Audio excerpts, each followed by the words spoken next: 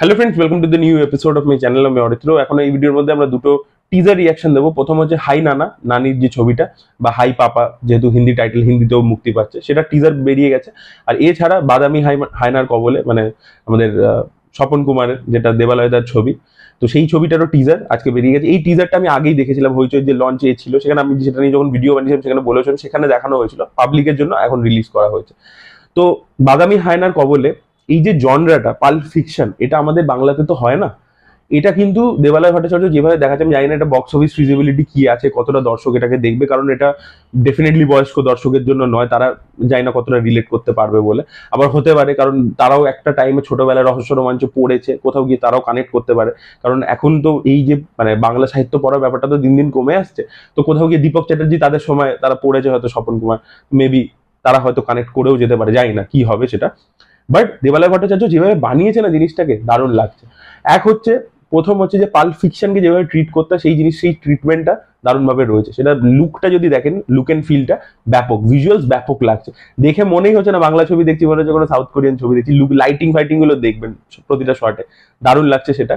আর আবিরকে দারুণভাবে প্রেজেন্ট করেছে। একটু দেখুন ডিটেকটিভ হিসেবে আবিরকে আমরা দেখেছি, কিন্তু খুব আইডিয়াল ডিটেকটিভ হিসেবে দেখেছি যে এই লোকটা খুব ভদ্র লোক বোমকেশ, সোনাদা, দুটো ইমেজ আছে, বাচ্চাদের ভালো লাগে বড়দের ভালো লাগে, মহিলাদের ভালো লাগে, কিন্তু এখানে একটু হাটকে অ্যাপ্রোচ এবং কোথাও একটা গিয়ে, এবার এটা তো একটা প্রেজেন্টেশন হলো, যেগুলো খুবই ভালো লাগছে, কিন্তু তার সাথে দেখবেন একটা মানে অন্য অনেক জিনিস নিয়ে পান্ন রয়েছে। যে একটা জায়গায় বলছি যে আমি বাংলা ছবি এখনও দেখি। বলছে হ্যাঁ কিন্তু আমি বাংলা সিনেমার পাশে দাঁড়াতে বলবেন না, পারব না। এই যে ব্যাপারগুলো মানে মেটা লেভেলে হিউমারও রয়েছে। এবং তার সাথে কোথাও স্বপন কুমারের সাথে দীপক চ্যাটার্জি কথা বলছে। বলছে, আপনি কি লিখেছেন? যে, আমি দু হাতে দুটো রিভলভার আর টর্চ নিয়ে আবার উঠছি। মানে এরকম ভাবে লেখা আছে। তো ওই জিনিসগুলোকে নিয়ে মজাও আছে। তো কোথাও একটা গিয়ে যে লিটারেচার আমাদের কালচার সেগুলো নিয়ে কথাবার্তা আছে, এই এই মুহূর্তে পপ কালচারে কি হচ্ছে সেগুলো নিয়ে কথাবার্তা আছে, সেগুলো একটা মেটা লেভেলে চলছে। অ্যাট দ্য সেম টাইম এখানে বিভিন্ন রকমের ভিলেন্স রয়েছে, এ রয়েছে যেগুলো দেখতে পাচ্ছি। কলকাতা শহরে একটা অন্যভাবে প্রেজেন্টেশন আছে। মানে এখানে মেনলি অ্যাপ্রোচটা হচ্ছে যে স্বপন কুমার যা লিখবে সেই চরিত্রটা বেঁচে উঠবে। ও দেখবেন একটা জায়গায় একটা টয় হেলিকপ্টার ছাড়ছে, আমরা দেখছি যে ক্যারেক্টাররা হেলিকপ্টার দেখতে পাচ্ছি। এটা খুব সুন্দরভাবে হবে যে একদিকে যেটা লেখা হচ্ছে সেটাই ঘটছে।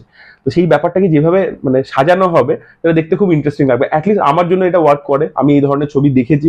আমার খুব ভালো লাগে এই ধরনের একটা ট্রিটমেন্টের ছবি। এবার জানি না বাংলা অডিয়েন্সের জন্য কতটা ওয়ার্ক করবে। এটা একটা নতুন জিনিস।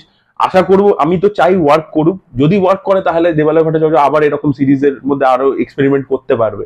সেটাই স্বাভাবিকভাবে চাইব যে অবশ্যই ওয়ার্ক করো আমার বেশ ভালো লেগেছে। আপনাদের মতামত অবশ্যই জানাবেন। এছাড়া যদি হাই নানা বা হাই পাপা, এটা টিজার নিয়ে কথা বলি, তো এটা একটা খুব সিম্পল স্ট্রেট ফরওয়ার্ড ন্যারেটিভের গল্প হতে চলেছে, আমরা বুঝতে পারছি যে নানি তার মেয়েকে নিয়ে থাকে মেবি সে সিঙ্গেল ফাদার এবার সেটা সে মানে বাই চয়েস হয়েছে নাকি তার ওয়াইফ মরে গেছে, সেটা আমাদেরকে দেখায় না। এবার মৃণাল এদের জীবনে আছে ভালোবেসে ফেলে, এবার সেখানে আদেও তারা একসাথে থাকতে পারবে কি পারবে না সেটা নিয়ে। এবার আরও একটা জিনিস হতে পারে মেবি জানি না, সেটা নানির একটা কম বয়সী লুক দেখে মনে হলো, যে অ্যাকচুয়ালি এর যে ওয়াইফ আগে ছিল, সে মেবি হয়তো মৃণালের মতোই দেখতে ছিল। দুজনকে লুক অ্যালাইক দেখতে। এটা একটা হতে পারে পসিবিলিটি কারণ নানিকে এক জায়গায় না খুব কম বয়সী লুকে মানে কলেজ স্টুডেন্ট টাইপের লুকে দেখতে পাচ্ছি। তো মেবি ওর ওয়াইফ মৃণাল ঠাকুরই ছিল, আবার মারা গেছে, আবার একজন নতুন মহিলা এসেছে, তাকেও মৃণাল, সেটাও মৃণাল আর কি, একই রকম দেখতে। এই ধরনের প্লট হতে পারে। আর তেলেগু সিনেমা তো এই ধরনের জিনিসপত্র তো বিশ্বাস করে, দেখতে পাবেন তাদের ছবির মধ্যে সেটা থাকেও। তো সেইটা একটা অ্যাপ্রোচ হতে পারে। মেইনলি যে জিনিসটা ছবি মানে ওয়ার্ক করছে, গল্প তো সিম্পল কিন্তু নানির ক্ষেত্রে নানি না এই ধরনের সিম্পল গল্পের মধ্যে ড্রামা ইমোশন গুলোকে দারুণভাবে ফুটিয়ে আনতে পারে, যেটা জার্সির মধ্যে ছিল। ওখানে বাবা ছেলের গল্প ছিল, ঠিক আছে? হাজব্যান্ড ওয়াইফের গল্প ছিল, সেটাকে দারুণভাবে দেখিয়েছিল। এখানেও কিন্তু বাবার মেয়ের গল্পটা খুব বিউটিফুলি ফুটে আসে এবং দেখবেন ভিজুয়ালসগুলো ব্যাপক লাগছে, ব্যাপক ভিজুয়ালস হয়েছে, যে ধরনের কালার ইত্যাদি এবং মিউজিক এই যে খুশির যে মিউজিক দিয়েছিল, যে মালায়ালাম মিউজিক ডিরেক্টর তার মিউজিকটা দারুণ। বিজিএম ব্যাপক লাগছে। সেটার কাজ খুব ভালো হয়েছে। মৃণালকে দুর্দান্ত বিউটিফুল লাগছে। তার পারফরমেন্সও ভালো লাগছে। গলাটা ডাব করেছে তেলেগু ভার্সনটাতে মৃণাল নিজে দেয়নি। আর নানির সাথে তার কেমিস্ট্রিটাও খুব ভালো ওয়ার্ক হচ্ছে। নানি তো দারুণ পারফরমেন্স দিচ্ছে। টিজার লেভেল থেকেই খুব ভালো লাগছে। আর এই ছবির যতগুলো গান বেরিয়েছে, গানগুলো খুব ভালো।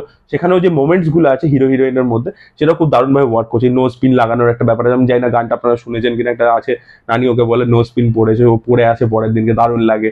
তো এই ব্যাপারগুলো, এই যে মোমেন্টসগুলো মানে রোমান্টিক ছবিতে অ্যাকচুয়ালি এইগুলোই দরকার। রোমান্টিক ছবিতে তো গল্প আহামরি কিছু হয় না। কিন্তু সেইটা দারুণভাবে সেই ড্রামাটা ইমোশনটা সেগুলো ক্রিয়েট করতে নানি জানে। মানে সেরকম নানি যখন ভরসা করে একটা স্ক্রিপ্ট নেয়, সেটার মধ্যে তখন আমরা দর্শক হিসেবে একটা ট্রাস্ট করতে পারি। কারণ সে পরপর ভালো ছবি আমাদেরকে উপহার দিয়ে এসছে। তো সেই দিক থেকে আমার ভালো লেগেছে। অ্যাপ্রোচ ওয়াইজ ট্রিটমেন্ট ওয়াইজ ভালো। গল্পের দিক থেকে নতুনত্ব দেখা যাক, সেটা তো ছবিটা দেখলে বোঝা যাবে। এখনও তো তারা মানে বেশিরভাগ কনফ্লিক্ট পয়েন্টগুলোকে লুকিয়ে রেখেছে। দেখে তো টিপিক্যালি মনে হচ্ছে দেখা যাক। সো এটাই ছিল আমার বক্তব্য। আপনাদের মতামত অবশ্যই কমেন্ট সেকশনে জানাবেন। এই ভিডিওটা ভালো লেগে থাকলে লাইক করুন শেয়ার করুন চ্যানেলকে সাবস্ক্রাইব করতে ভুলবেন না। Bye bye